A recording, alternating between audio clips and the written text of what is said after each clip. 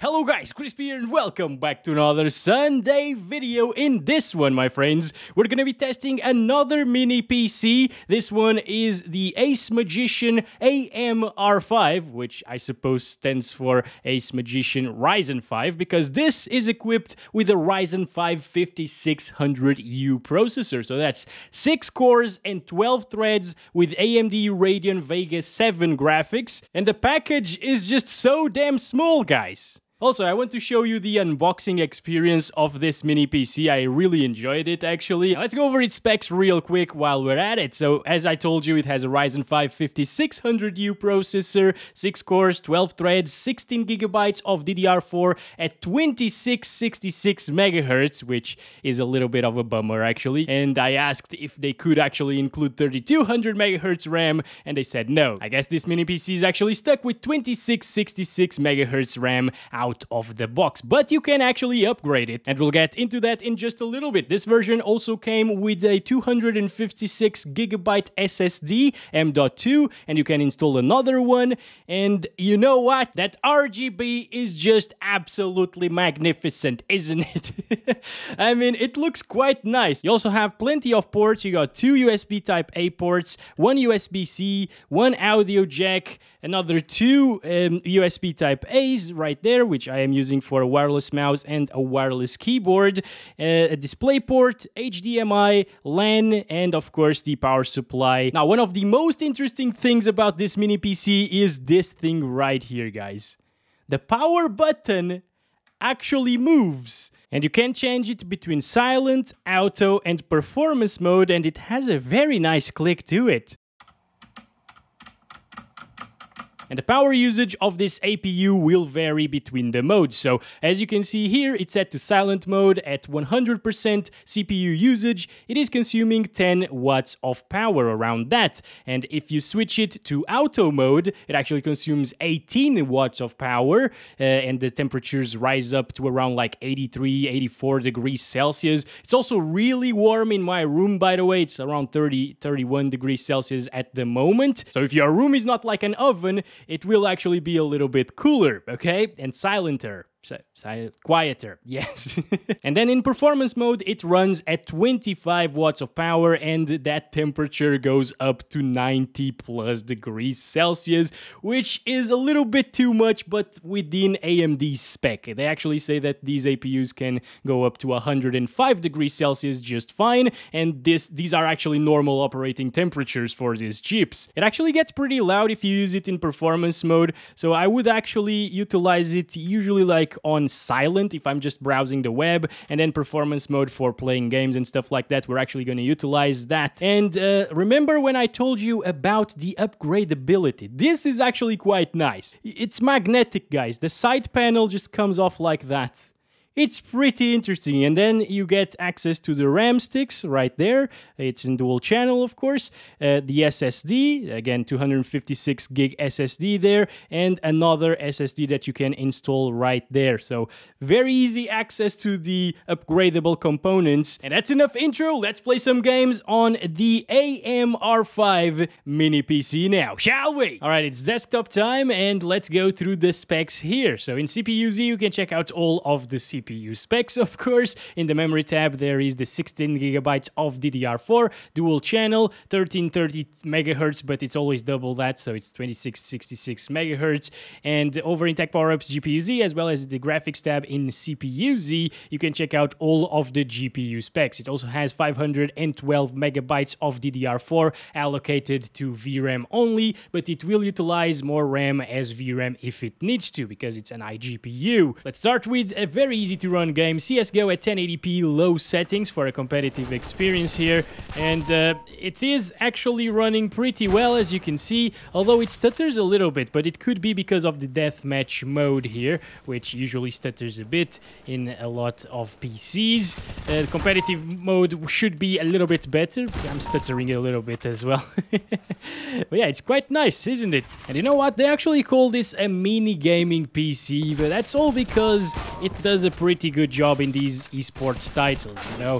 CSGO, Valorant, Dota 2, League of Legends, it won't have a problem with any of those games, and it's actually performing pretty well here 100 plus fps average uh, it's not really meant for aaa gaming and the company itself said that it was for lighter games so yeah i'm still gonna test like cyberpunk and red dead redemption 2 but it's probably not going to do a very good job in those. You can also see that the GPU utilization is not really maxed out and the power usage on the CPU is at 20 watts of power. That's because the CPU itself is using 20 watts and the rest of the power is being allocated to the GPU. And as usual, it's doing a pretty good job at balancing that power usage. The GPU is not really being maxed out, which is actually a great thing in CSGO because whenever it's at 99% usage, it gets more input lag. So yeah, I can't really feel a lot of input lag either in this system here in CSGO. So I guess that's it for CSGO. I'm not doing very well here today, unfortunately.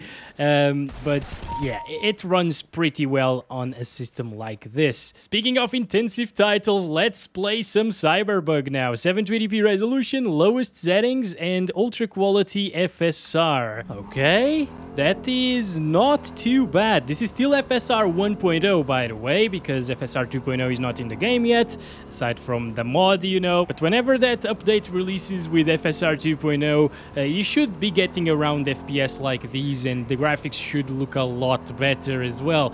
So this... Well, unfortunately, it drops a lot. Oh my god. Are you serious? He'll kill us. No, I'll kill you, Bob. Goodbye. That was a nice uh, death by Bob, you know. That, that was fast and easy. Come on, go, go away. Go away, buddy. Let's go. I'm doing a benchmark here. This is a super intensive area for the CPU to render and the GPU as well, of course, but it's a, more of a CPU intensive area than GPU intensive and it does drop into the mid 20s. The problem isn't really that it drops into the mid 20s and it's in the 30s most of the time. The real problem is that frame time graph is absolutely terrible. It is stuttering a lot, guys and 30 FPS unfortunately do not feel like 30 FPS in this one. It's right around 30 but I it's such a stuttery mess. It's really inconsistent and I just can't really have fun like this honestly guys. It's if it was 25 FPS locked and smooth, it would be fine, but this is way too much stuttering here. It's probably because of the RAM being 2666 megahertz. That doesn't help the APU, of course. Faster RAM is always way better, especially in APUs. Now we're testing Dota 2 at 1080p using medium settings and 100% resolution scale. DirectX 11 because Vulkan stutters a little bit. And uh, let's just wait for a team fight, I guess. Whenever not much is happening, you can actually get 60 plus FPS, which is great to see. And what is happening here? A little bit of a team fight with some effects. Doesn't drop all that much, it seems like. That's pretty good, actually. You know, in, in Dota 2, 60 plus is not really mandatory. It's dropping into the 40s right now, but I think it's still pretty playable, even with 30 FPS. So it's not a problem if it's getting drops into the 40s. It's actually pretty good still. And another interesting thing is that most people are actually playing games like CSGO and Dota 2. CSGO and Dota 2 are actually the top 1 and 2 most played games on Steam. So if you're just a casual player, something like this, the Ryzen 5 5600U would actually do a decent job. Just make sure to pair it with 3200 MHz RAM. That's actually very important. Doesn't feel like the smoothest thing in the world, honestly, especially when it drops, but still okay. As long as you can move the mouse around freely and without stuttering, it's fine, guys. Uh, you can actually play it even competitively if you want to. I have a friend that plays this game competitively with less FPS than these, and he has played it for like 7,000 hours already. it, it runs just fine, okay? I'm curious to see it on high as well, so, so let's do basic settings here. High, 100% resolution scale. You don't need to restart the game. It looks way better. The shadows make it look fantastic, and I wouldn't really play on higher settings than these, honestly but it is dropping already from 60 FPS. I think in team fights it could drop into the 30s and even 20s possibly with very, very demanding effects. All right, catch Necro off guard there. Good stuff, dropping into the 30s as I told you. Closer to 30 FPS there, 33. That's actually not bad. Look at that. Oh boy, 29, 28. So as I was saying previously, it actually can drop from 30 FPS in very intensive scenarios. It's not really the end of the world, but I, I think I would choose medium settings anyways. It's, it's 1080p resolution still, so it's sharp and detailed. Really nice, look at that. Damn. Most of the time it's fine though. Oh, Jesus Christ. Oh, the poor Radiant. now we're playing Stutter Night at 1080p using the lowest settings, 100% 3D resolution and performance mode. And you probably all know why I call it Stutter Night. This game stutters a heck of a lot. It's probably gonna be the most stuttery one out of every game that we test today. Actually, maybe Cyberbug was more stuttery. Um, but yeah, I already played the game here and I dropped here and died almost instantly. but it, it gave it time to load some of the things, so that's why right now it's a little bit more stable, although still pretty crappy in frame time consistency. And alright, we just started counting our FPS. I don't understand what are these things with people's names and stuff. Hi, buddy, what, what are you even doing there? Come on. Oh boy, we almost died again.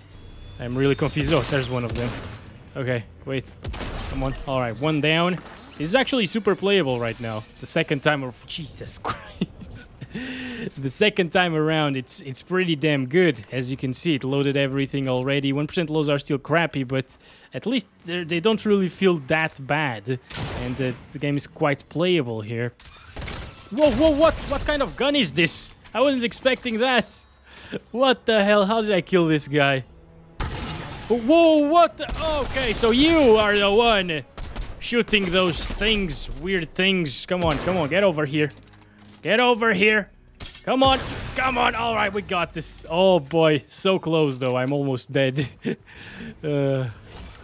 Oh, there's another one. No, I don't want to die. I don't. Ah, damn it. It was going so well. Why did everybody decide to drop here? Ah. Oh, this can be good actually because now we can see other areas of the map. Exactly, that's perfect. So over here it gets a little bit more FPS than where we were. 100 FPS sometimes. I will probably stop counting them though because the 1% lows are going to be wrecked every time I uh, switch players basically. This is nice actually. The guy is just flying around or Spider-Manning around, we could say. Webbing, yes, exactly.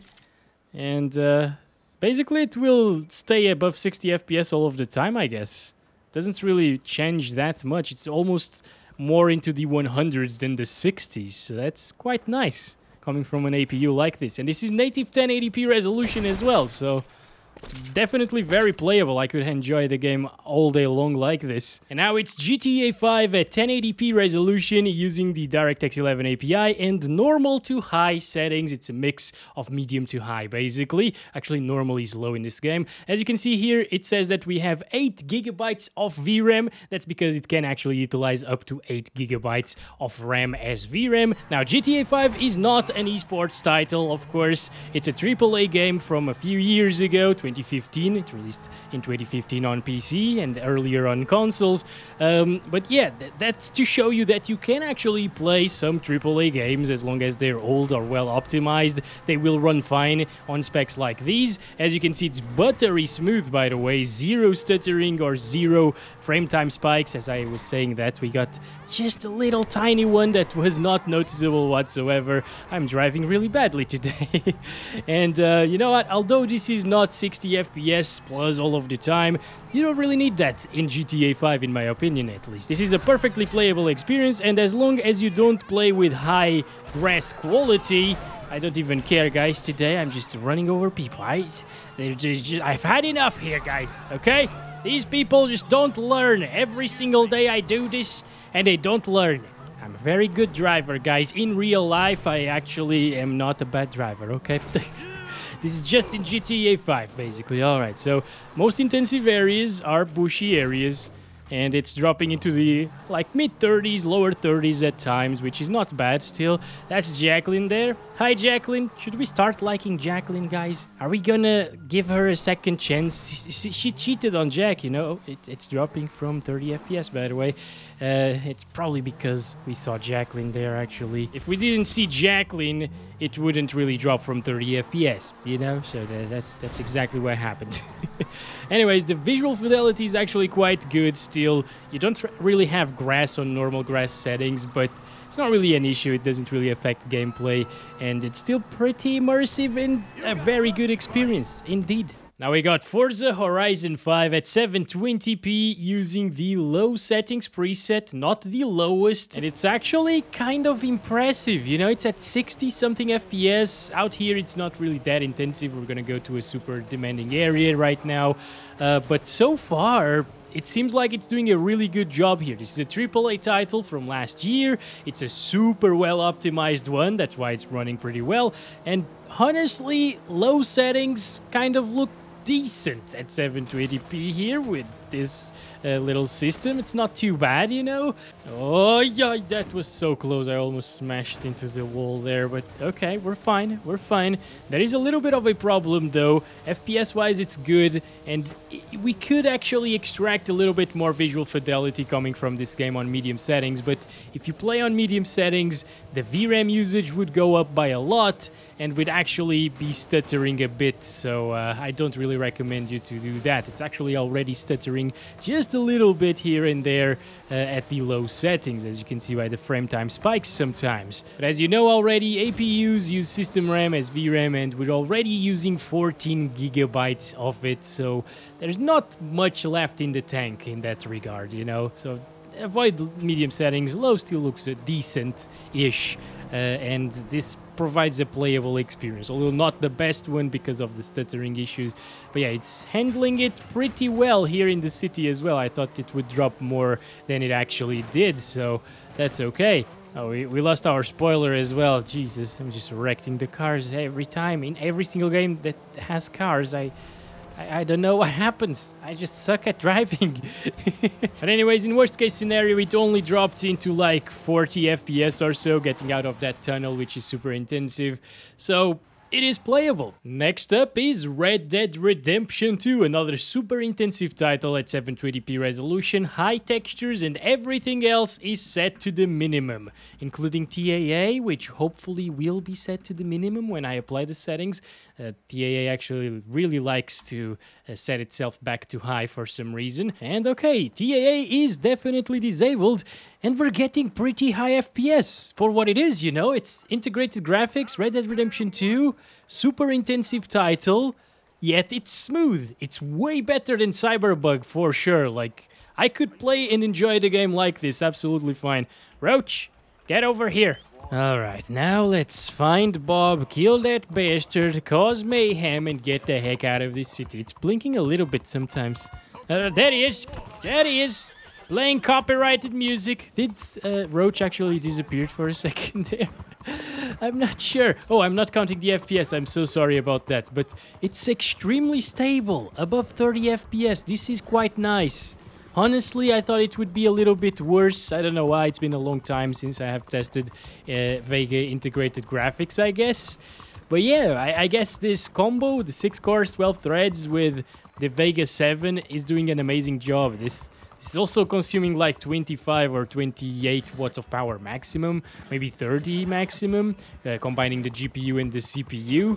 So that's amazing for what it is, you know. This is the only PC in my room currently that I can have on and it doesn't heat up the, the room more than it is outside because outside it's like 34 degrees and inside it's basically the same thing. But if I was testing like the 3080 Ti, it would get like 38 degrees Celsius here inside of the room, which is crazy and insane. And I actually gotta wet my shirt to stay alive, basically.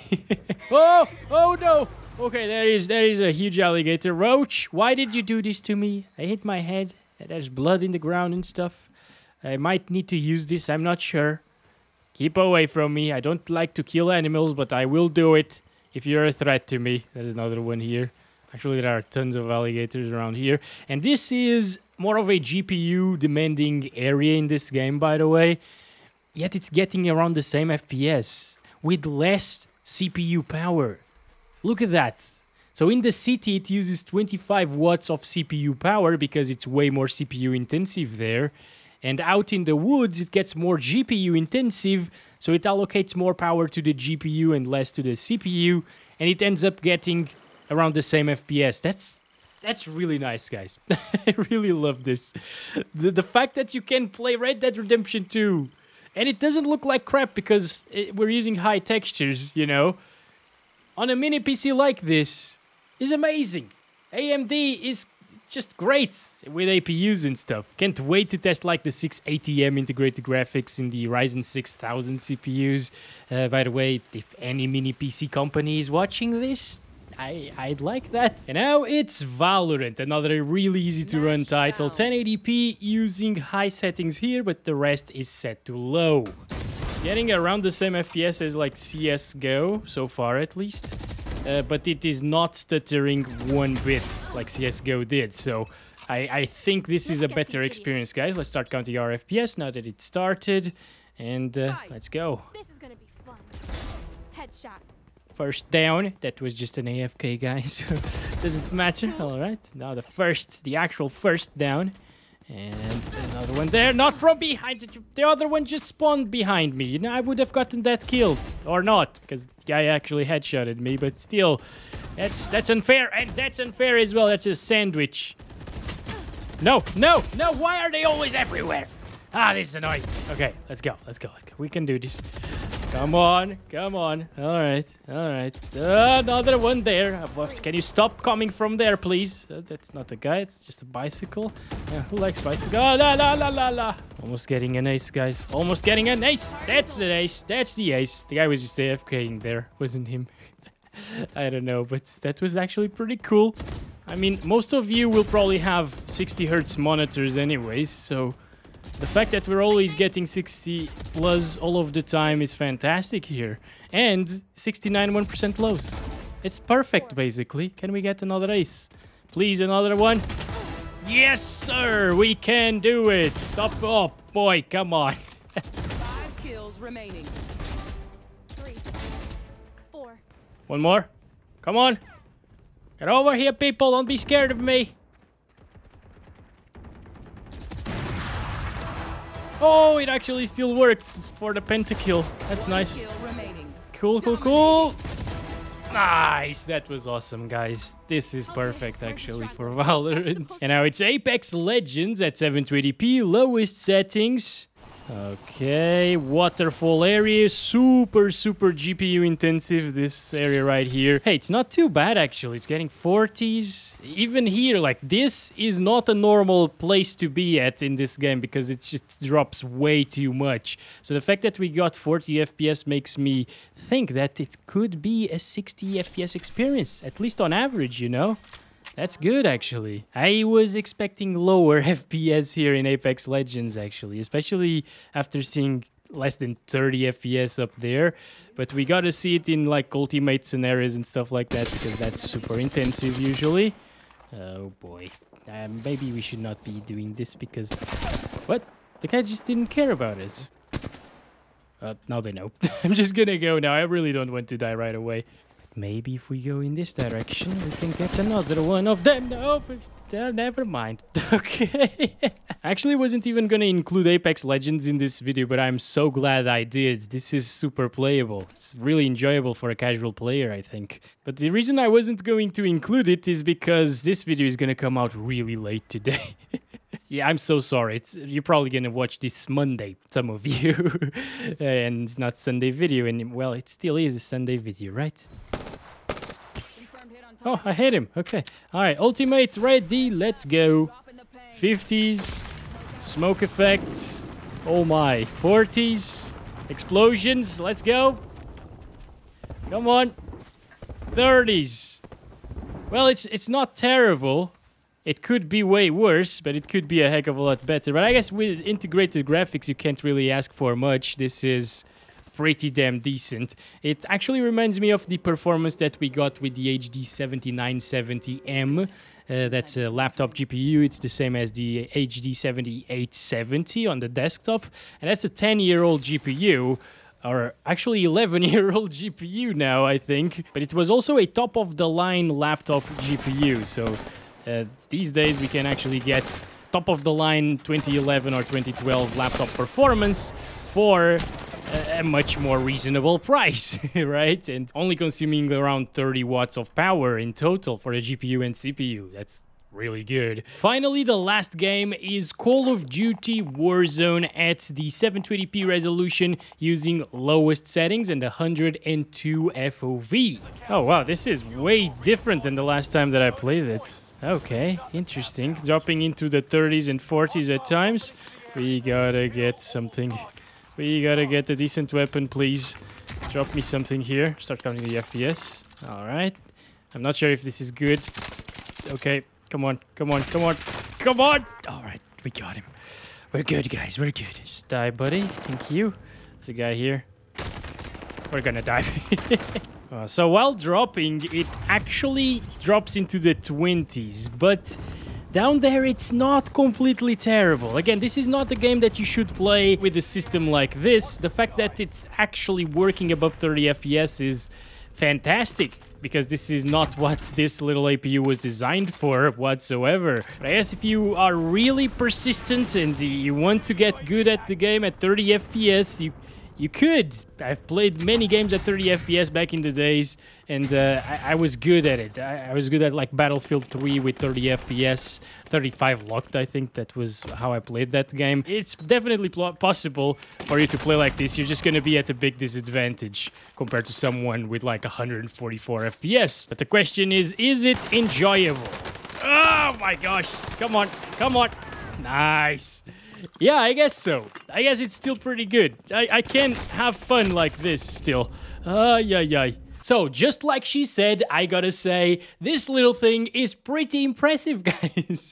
I mean, it can't really play all of the games very well, obviously. It's not supposed to, but it runs like esports titles absolutely fine. All the AAA stuff just fine as well, and it even surprised me in like Warzone, Apex Legends, and Red Dead Redemption 2. So, yeah, although you have to play those games on low settings to have a semi-competitive experience or playable one actually uh, in 720p resolution. Well it's it's good that it actually can run those games. So i'm a little bit impressed here with the ryzen 5 5600u especially because it is a 15 watt or a 10 to 25 watt actually um, apu if you're in the market for a mini pc i guess this one is pretty all right. You know, I, I really like the form factor and it's so cute, right?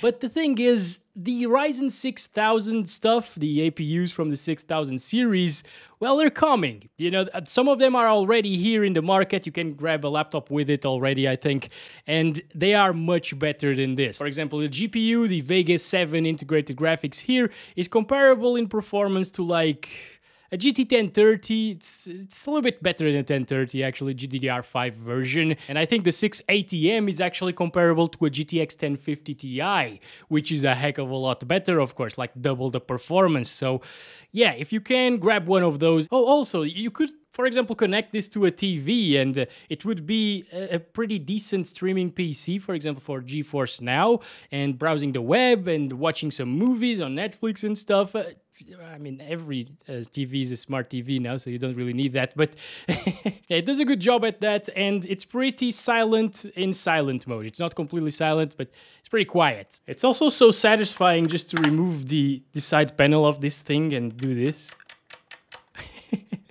Alright, let's end the video. Thank you very much for watching this one. Don't forget to like and subscribe if you haven't already. Uh, I'll catch you in the next one very soon. Tell me down in the comments below if you would buy something like this. I know it's not for everyone. As always, guys, thanks for watching. Love you all. Bye-bye.